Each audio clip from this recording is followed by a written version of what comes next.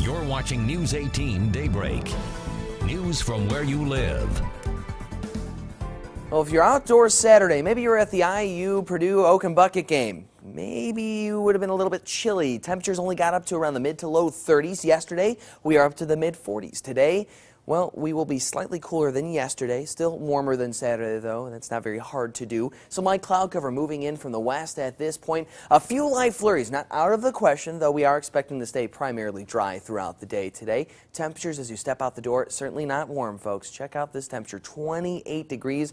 Winds are from the north, right around 5 miles per hour at this point. Things are getting a little bit brighter out there at this hour, but still very, very chilly conditions. And we are looking at primarily cloudy conditions throughout the day. However, high pressure moves in by tomorrow morning. That's going to help clear out our, con our conditions. That cloud cover all moves off to the east. However, we're looking at cooler conditions for tomorrow afternoon than today because today we're going to be seeing 41 degrees later today, 39 in Attica, right around 37 further out to the west in Pence later this afternoon. Now, overnight tonight, we're going to dip right back down to the mid 20s, 25 degrees your overnight low temperature, cold and cloudy. Winds will be from the north around 5 to 10 miles per hour. Tomorrow, that high pressure takes hold, keeps us primarily clear. We do see a few short waves move through, some light cloud cover here and there, but that sun should still shine through the hazy cloud cover. Temperatures will be warming right around to 38 degrees here in Lafayette. Other parts of the region seeing the mid to upper 30s. So your 38 Lafayette, mostly sunny skies, certainly chilly.